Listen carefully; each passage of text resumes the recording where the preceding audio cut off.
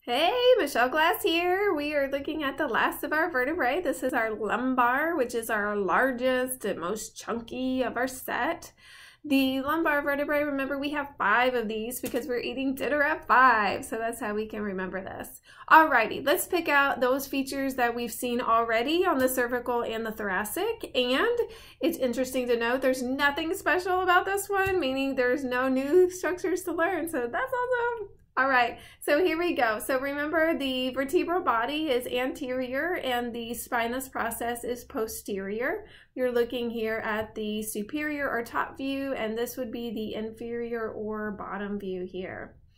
Okay, so we've pointed out the body, spinous process, we can see the neural arch forming the vertebral foramen, which is where the spinal cord is sticking through.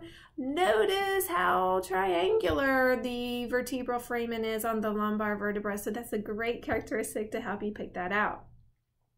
You can see your transverse processes going to the side. You can see your superior articular processes pointing up and notice the facets, the flat faces are pointing towards the spinous process or pointing towards the um, posterior surface. And then you have, of course, digging down below your inferior articular processes and notice the inferior articular facets are pointing um, sort of towards the front or towards the body. So remember, that's how you can definitively tell which is the top and which is the bottom, or which is the superior and which is the inferior articular process. That's pretty much it. So that's cool. This is a piece of stacked vertebrae and we can see how triangular it is so that can help us recognize that it's lumbar. Going back to this one here, sometimes people see sort of like a moose head.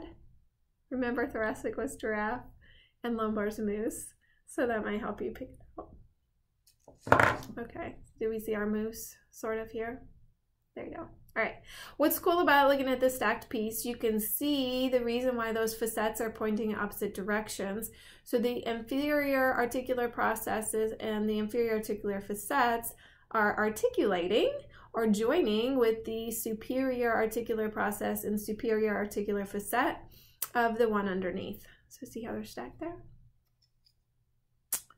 Pretty cool. Also, when they are um, articulated or joined together, we can see what's called the intervertebral foramen. So spinal nerves will be sticking out through this hole. Now, clearly, if you just have one, you just sort of have like a little notch. You don't really see the foramen. So you have to have the complete set or the articulated set in order to see that. We can also see the intervertebral disc, which is a pad of fibrocartilage um, connecting your two vertebral bodies together. So that's giving you some padding and shock absorption there.